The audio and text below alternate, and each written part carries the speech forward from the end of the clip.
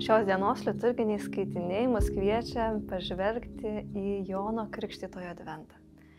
Jono, kuris visus ragina atsiversti.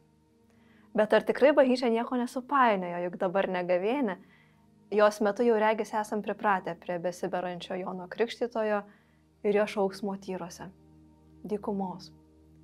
O kur adventinis vainikėlis, imbieriniai sausainėliai ir šventinė muzika? Kur lempelės ir dovanėlės, o prakartėlė su Jėzuliuku. Tai kasgi čia?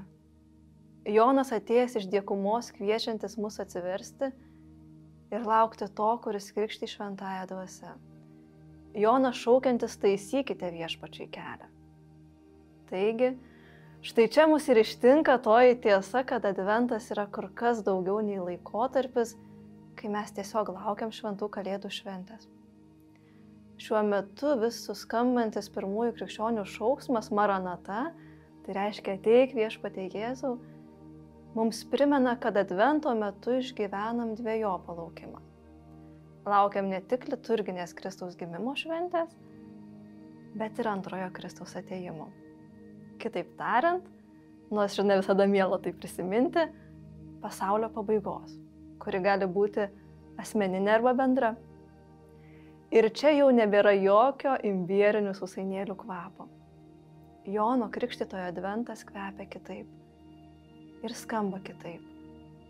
Jokios kalėdinės muzikytės, tik šauksmas tyrose, taisykite viešpačiai kelią. Pranašas Izaijas, kurį sutinkam pirmajame skaitinyje ir taip pat Evangelijoje, tarytum atliepia, kiekvienas lėnys tegu būna užpiltas ir kiekvienas kalnelis nulygintas. Na, o tokia kelininkystė tai yra tikrai rimtas darbas. Turbūt rimtesnis už saldumynų ar kavos atsisakymą per adventą, kaip esam pratę. Tai kasgi yra tie slėniai ir tie kalneliai, kurie trukdo ir kliudo sutikti viešpatį mano kasdienybės keliuose. Liturginėse valandose, kurias meldžiasi kunigai vienuoliai ir daug pasauliečių yra sakoma, viešpatė užpilk mūsų silpnumo slėnius ir nulygink mūsų puikybės kalnus. Kai pažvelgiu į save galvodama, kokio gylio tie mano slėniai ir kokio aukštumo tie puikybės kalnai, suprantu, kad, na, galima čia kalbėti ko ne apie amerikietiškus kalnelius. Pamenu, kartą dalyvavau rekolekcijose su seserimis, kurių vedėjas labai daug kalbėjo apie manojo aš mirtį. Sakė, kad manasis aš jis gali ištverti viską - kankinimus, visokius skriaudimus ir net komoje atsidurti, bet vis viena jis liks gyvas ir dar sakoma, kad puikybė iškeliauja tik trim dienom praėjus pro žmogaus mirties. Pamenu, kad įkvėpta tų rekolekcijų sugalvojau palaidoti savąjį aš, bent jau labai simboliškai ir iš kartono pasidirbinau tokį mažą karstelį, išsikirpau mažą popierinę vienuolytę ir pašarvojau ant palangės. Tada, žodžiu, pasimeldžiau, apverkiau. Galiausiai nunešiau į kapines ir pagarbiai užkasiau. Ir labai keista, bet tą akimirką, kai tai padariau, pajutau didžiulį palengvėjimą.